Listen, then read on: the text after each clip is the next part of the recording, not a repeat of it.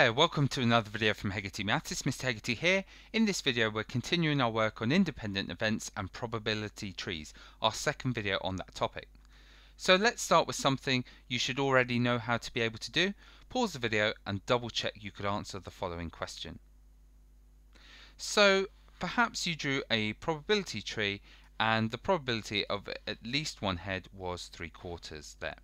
Now in this video we're going to do slightly more complicated examples of probability trees where there may be three uh, successive events happening or at each outcome there may be three branches of the probability tree just to show you how complicated it may get. So let's go straight on and get to a first question. So pause the video and have a go at this. Right, I'm going to draw out the probability tree so you could copy this after me and check you got the right one.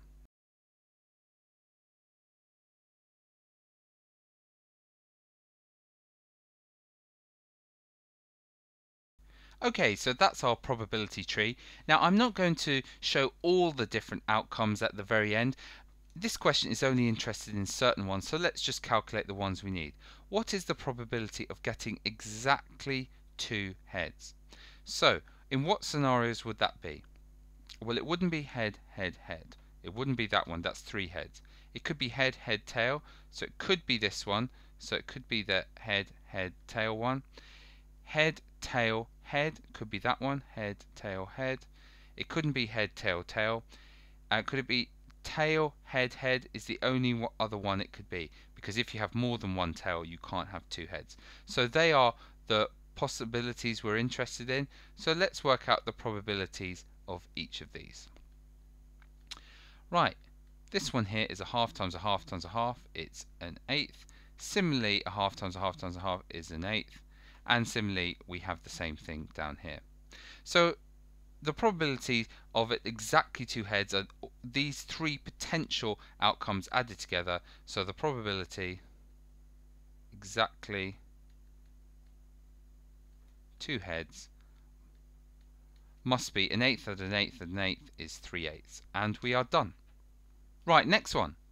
This one is um, an example of taking marbles out of the bag again, but this time there are three types of marbles. So pause the video and double check you can draw the probability tree.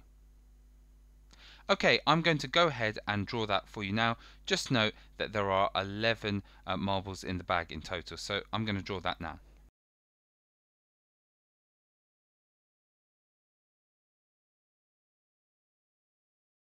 And to complete my probability tree, I'm going to list all the combinations of outcomes of the two marbles and work out their probabilities. So just doing the first one, along here, along here, would give me the probability of a blue and a blue.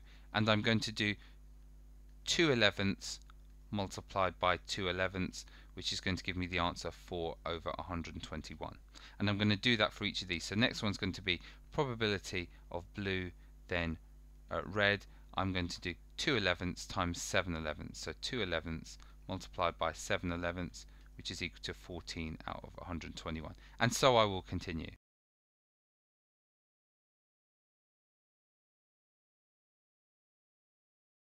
And that is my complete probability tree with all the possible outcomes. Now we may be asked various other questions which we can use our probability tree to answer, like as follows. So pause the video and have a go at these. Well, most of these we can just read off. The probability of two reds, we look back here and you can see it's this one here. And that's 49 out of 121. We can just write it down. Similarly, the probability of two blues and two yellows are the next two questions. Well, the probability of two blues, that's 4 out of 121, and two yellows is also 4 out of 121, so we can just state these as follows. Then it says the probability of exactly one blue let's just highlight those scenarios where you get one blue. Here's a scenario where you get one blue, here's one, and here's one, and also here's one. So if we add up 14, uh, add 4 is 18, add another 14 is equal to 32, add another 4 is equal to 36 out of 121. So we can just write that down there, 36 out of 121. And next, probability of two the same colours. Well, let's just highlight those because it's going to be used for two of the same colors. Uh, that's either getting a blue-blue scenario, getting a red-red scenario, or getting a yellow-yellow scenario. Adding those up, 4, um, add another 4 is 8, add uh, 49 is going to be equal to 57 out of 121 so we can just state that there 57 out of 121 and the last one the probability of two different colors now what you can do here the, uh, you could add up all these or you could realize that either um, the two colors are the same or they're different, they're mutually exclusive and they add up to 1. Now given that we already know the probability of two same colors above, we could say the probability that they're different is 1 subtract the probability that they're the same, which we have above. So we just do 1 subtract 57 out of 121, which is going to give us the answer 64 out of 121, and we're done. So let's try another question pause the video and have a go at this. Okay, we have a fair spinner. It has nine equal sections, four are green, three are yellow, and two are red. It's spun twice. You've got to assume they're independent. Draw a probability tree to represent this scenario. So I'm going to do that now.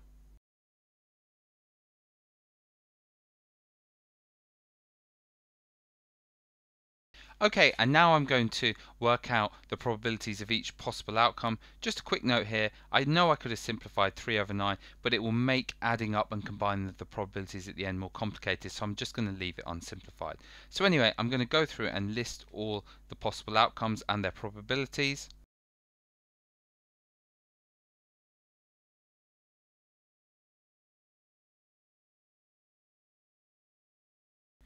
And that's our probability tree complete. Now let's answer some questions. Pause and have a go.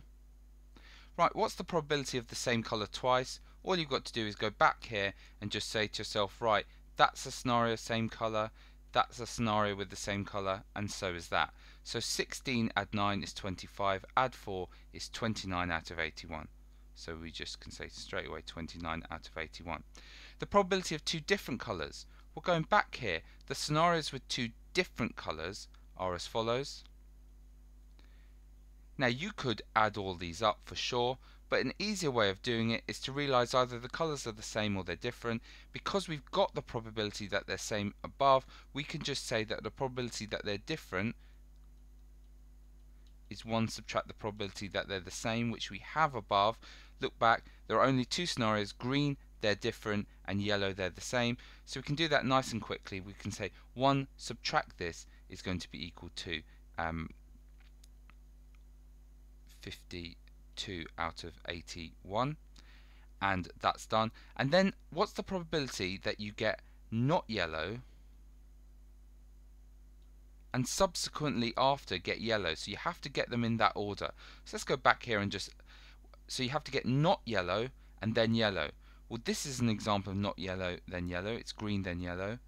Um, and this one is here. This is an example of getting red, then yellow. So we just add 12 out of 81, add 6 out of 81. So if we do 12 out of 81, add 6 out of 81, we get 18 out of 81, which we can simplify. We can divide top and bottom by 9, and we get ourselves 2 ninths like that. And that's it for this particular video. Thanks for watching.